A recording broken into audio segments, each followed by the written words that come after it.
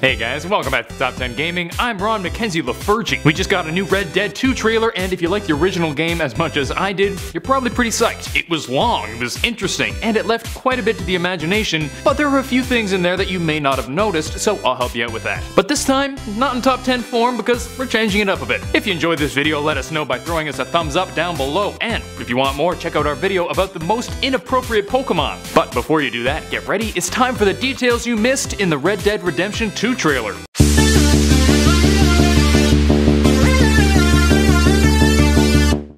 First of all, of course, we got to see John Marston, the stoic and ruggedly handsome outlaw turned family man we all knew from the first game, and Undead Nightmare, which was awesome. Until now, fans had only been speculating and assuming that John would be in the new game, but this new trailer has finally confirmed it, thank goodness. And spoilers, you ready? It's from the first game. This is, of course, a prequel set in 1899 since John died in an epic confrontation at the end of the first game. In the trailer, we see Marston roughed up and held at knife point, presumably by a rival gang. This means it's looking like we'll be learning more about John's departure from Dutch's gang, which is pretty cool. This is something that people had a lot of theories about and was somewhat explained in the first game, but now it looks like we might get to see what happened to him firsthand. Of course, it should be noted that we won't be playing as John, we'll be playing as a different member of the Van der Linde gang, Arthur Morgan. Marston was only in a short part of the trailer, which means he probably won't be too big a part of the game, but I think we can expect some nice little cameos with him, especially to tell parts of his story that weren't told in the first game.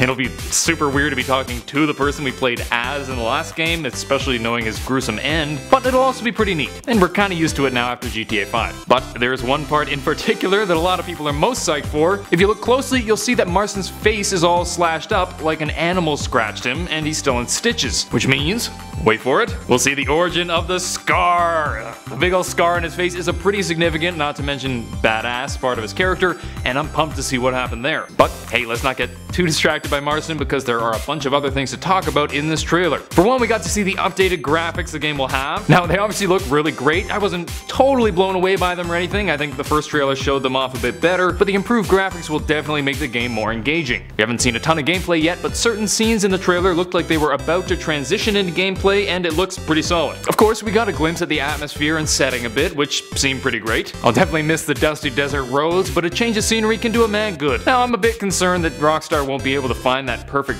Wild West feel in this new swampier area, but given their track record, I'm willing to keep my hopes up. We also got a good look at Dutch's gang. They were telling stories, and it looks like we'll be getting a more nuanced view of the gang in general. Considering they were meant to be kinda like Robin Hood's merry men, stealing from the rich and giving to the poor, but they often did unsavory things, I can definitely see inner conflict being an interesting part of the game. Finally, the trailer may have confirmed that a previously leaked map may actually be correct. A map was leaked back in 2016 which first surfaced on NeoGAF, claiming to be the map from the new Red Dead game. In the trailer, there's a sign pointing to Annesburg Mine, and the map has a location called Annesburg, which seems too perfect to be coincidence. Plus, the mountains and swamps we've seen in the trailers thus far seem to match up with the map as well. So if you're looking to get a head start on your Red Dead 2 play, check out that map. Unless it's just a trick on Rockstar's part, in which case they got me.